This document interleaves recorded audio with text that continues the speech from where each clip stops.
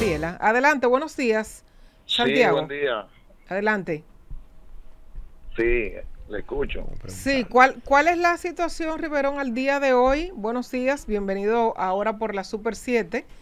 Eh, ¿Cuál es la situación en el día de hoy? El tema del mercado, el cierre de la frontera. En sentido general, háganos por favor un panorama de lo que se vive el día de hoy jueves en Dajabón. Bueno, todo está paralizado desde ayer. La frontera totalmente paralizada, no, no se mueve nada, como se dice.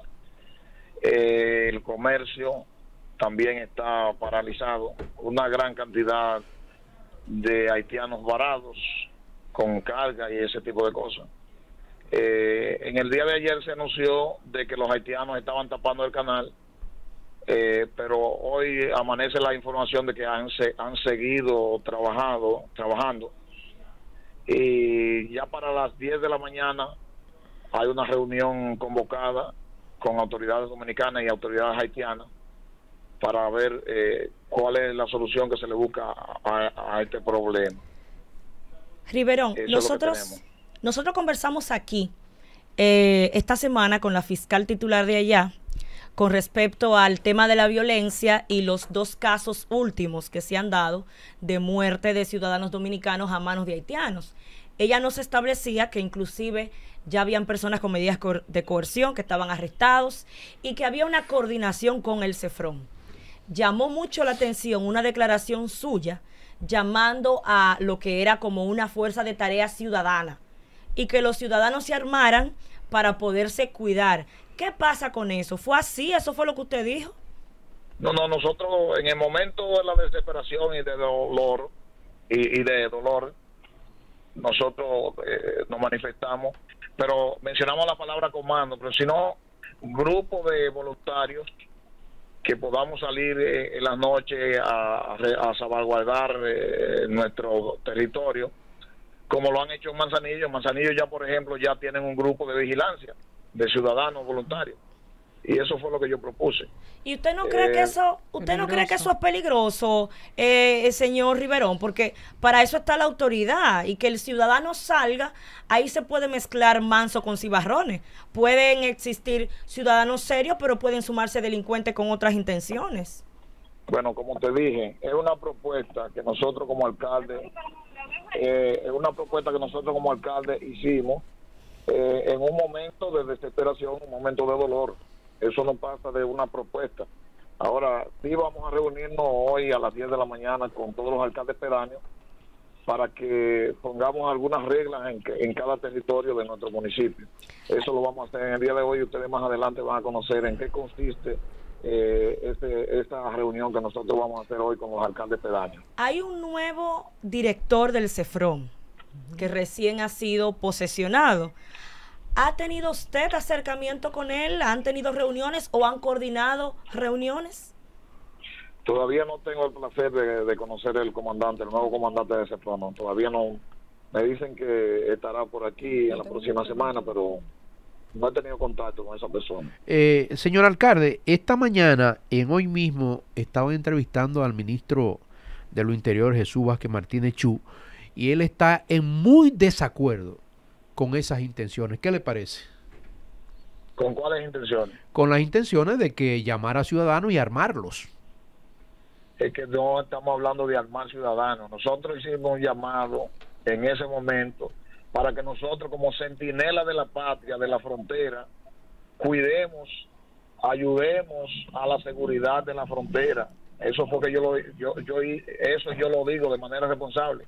Y se ha hecho en otros pueblos, que salgamos a resguardar, a patrullar de noche, porque no solamente fue el caso de, no es solamente el caso de, Aminilla, aquí hay una delincuencia común en Dajabón que se está robando diario, aquí se está robando diario y son haitianos que lo están haciendo y delincuentes de poca monta de aquí del municipio. Eh, señor alcalde, buenos días. Le habla Miriam Fernández. Mi pregunta es la siguiente. Lo que usted está bueno, lo que quiere implementar ahora, ¿eso es debido a que usted no siente que Dajabón es una prioridad para la capital? ¿Usted siente un abandono, una distancia eh, usted entiende, o sea, ¿por qué usted quiere hacer esto como alcalde con los ciudadanos? Hice una propuesta, y lo repito, para que se forme un grupo de voluntarios ciudadanos para resguardar, porque nosotros somos fronterizos, vivimos la frontera y tenemos que estar preparados todo el tiempo. Como guardianes de la frontera tenemos que estar preparados, porque en cualquier momento se puede, puede armar cualquier rebú aquí.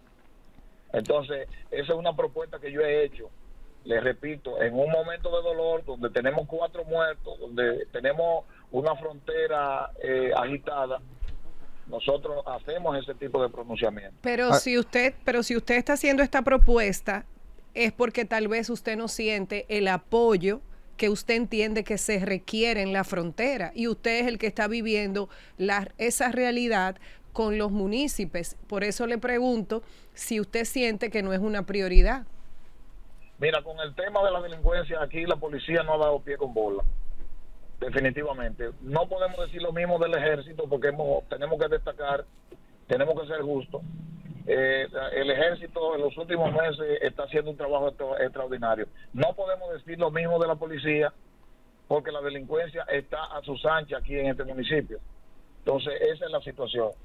Eh, eh Riverón, eh, el presidente o el gobierno de no cerrar la frontera, usted comenzó la entrevista hablando de esto, eh, ha dicho que realmente eh, los haitianos mm, eh, no han cerrado el canal como se había anunciado ayer. es decir, que persiste la situación. Eso indica que al parecer la situación de crisis que esto ha generado se va a mantener.